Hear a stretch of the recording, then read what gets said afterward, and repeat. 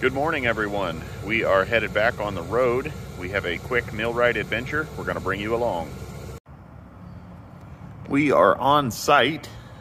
This is a complete feed mill that was all on a old turkey farm and this is right in the heart of downtown Peoria. This is very interesting to have this old farmstead still here that is a restaurant right there. Right across the road is a Longhorn Steakhouse. You can actually see it right there. And this place, the guy said in probably a year and a half, this entire place will be completely bulldozed and made way for the future. Whether that's good or bad, that's up to you guys to decide. That's kind of interesting. This is a complete feed mill manufactured by Ross Equipment Manufacturing in Brownsville, Tennessee. You can see their tag there, RM. This unit is kind of unique. It has a old school scale, beam scale. You would put in your product here, you know, 200 pounds of beans, 100 pounds of corn, whatever, you would come up with 300 pounds. Then that would get augered up into the hammer mill right here. And then the hammer mill would discharge into the mixer. You would do your mix, put your additives in, and then you would pump it out the auger into your wagon and go feed your turkeys or horses or whatever. It's kind of interesting. These are normally rotted out because they always did the in the floor sump and that was kind of a joke.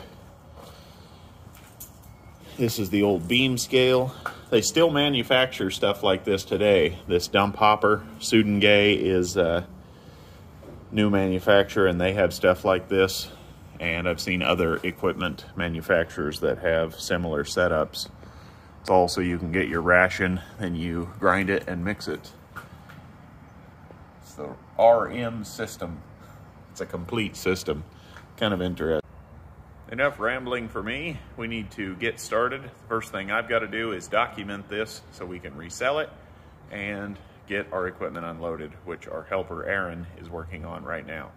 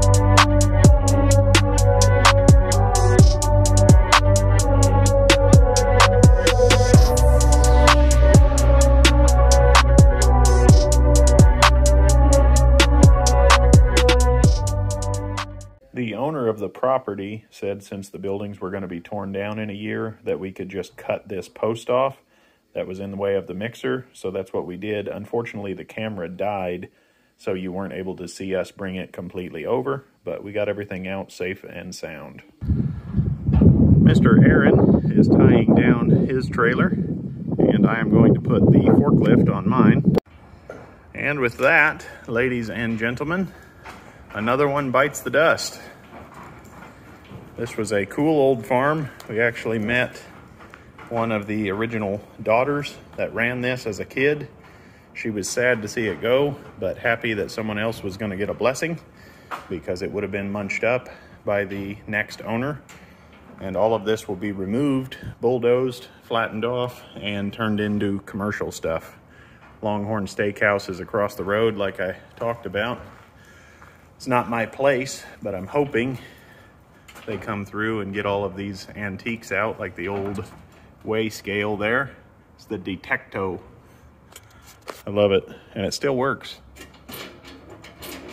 Very cool.